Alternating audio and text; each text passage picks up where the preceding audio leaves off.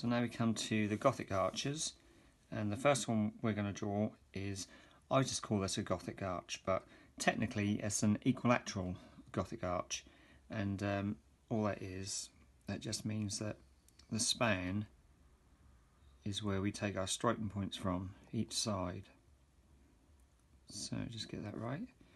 Do a nice light line, and then you just put it in the other side of the span and from this striking point you just go up like so. Um, then just to get the depth of the arch I just need to mark where the stretcher is going to be. Back into the striking point. Move it out to there. And here we have the whole shape of the arch back in the striking point.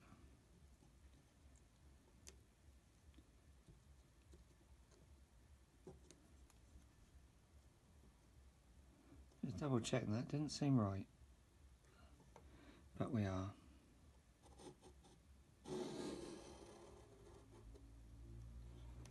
Just got to continue that one round.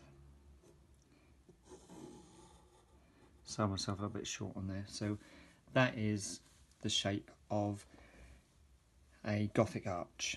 So again, what we would do is we would mark the gauge out on the extrados.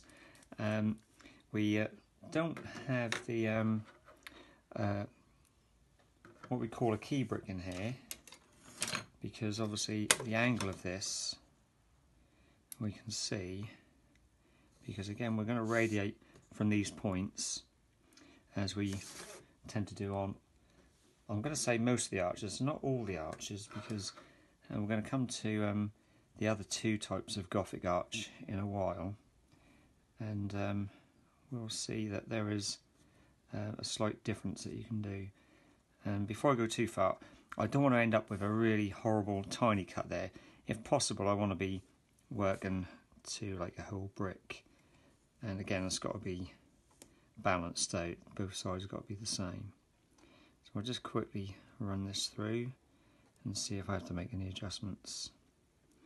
Do it all dry first and see how we come. You can see there that that is about half a brick out. So I am going to close that up a touch. I don't want to be making it wider because this is to um, see, it's just a bit under. This is already set to 75 mil, so if I was to make it bigger, then I'd be giving myself large joints on my arch. So you always go a bit smaller, so you can tighten the joints up. And uh, worst case would be you'd end up cutting your bricks to go around, but a lot of the time that is what happens. Now we're just a little bit too small. Okay, so this time you can just see that the more times you do this, the the more difficult it becomes because you start putting marks in uh, from the previous one. So you'll always see that when I do this, when I'm happy that it meets alright at the top, that is as close as I'm going to get. For a video anyway, because if I was doing it for real, I probably would have made another slight adjustment. But that was good enough for there. So I'll mark these round and then I shall just draw these in. Uh, incidentally, history of this arch, this is about 13th century, which uh, is 1400s.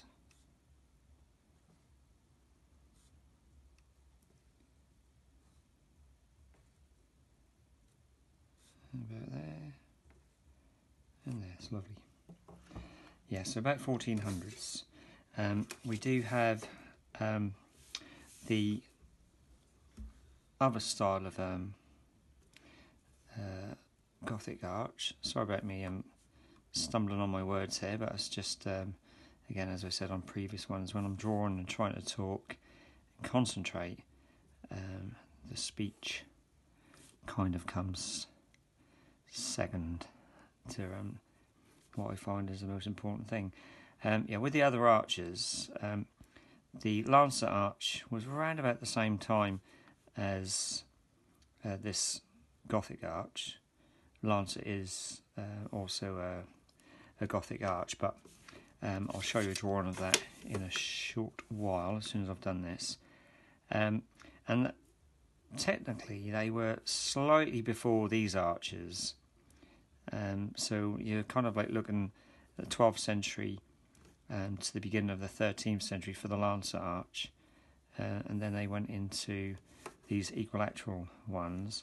And then after that, when they wanted to make the windows wider, um, we get what we call a drop Gothic, which is the third arch in the um, uh, style of the Gothic. Uh, that's about 15th century, that is. And um, I'll show you a drawing of both of those as soon as I draw these last ones in. Which is just about now. Okay, so I'll do the other side in a minute, but this is as with like a Gothic arch, where the striking point, let me just draw that before I show you the other ones. The striking point is the other opposite side of the span. So there's a striking point for there, and the striking point for that side would be there. So that is a Gothic arch. A Lancet arch, you see the striking points are outside of the span, and that just pulls the arch in, making it taller.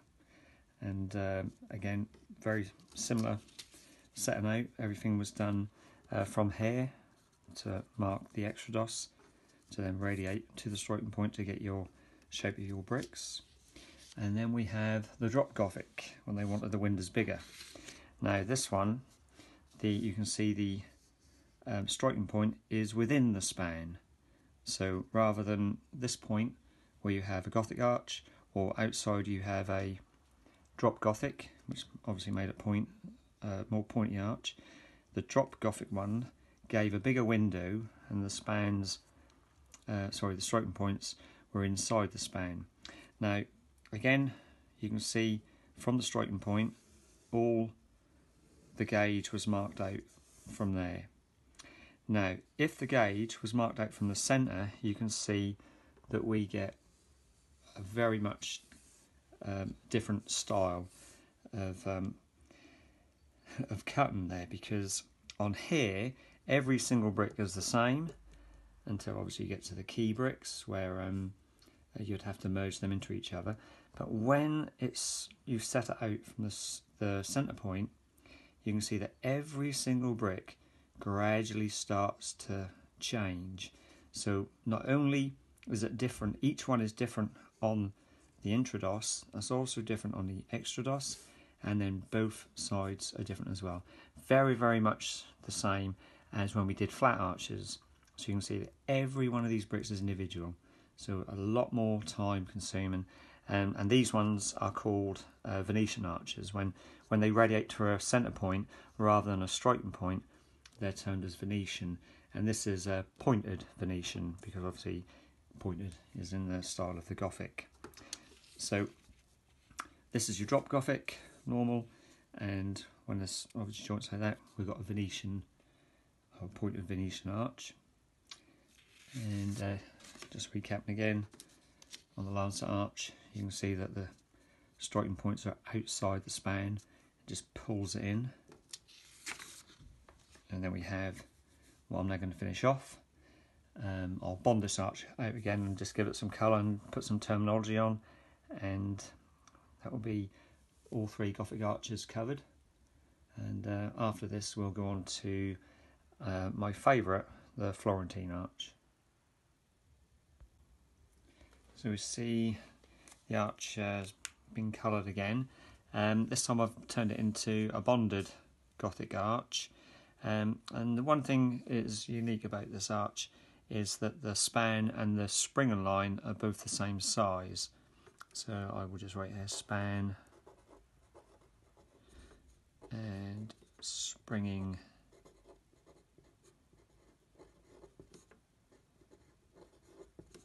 line are equal.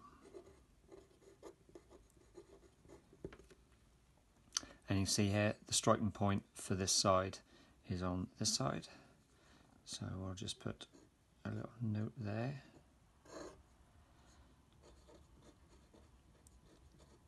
Striking point.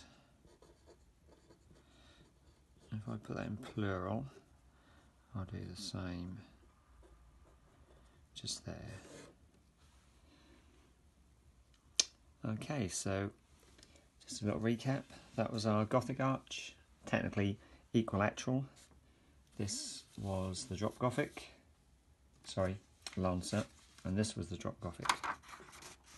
So they are the three different Gothic arches that uh, we can see.